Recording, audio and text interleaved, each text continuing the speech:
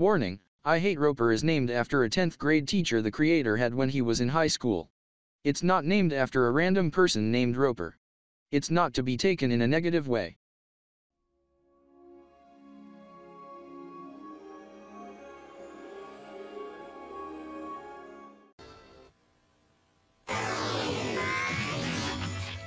This is Kids WB.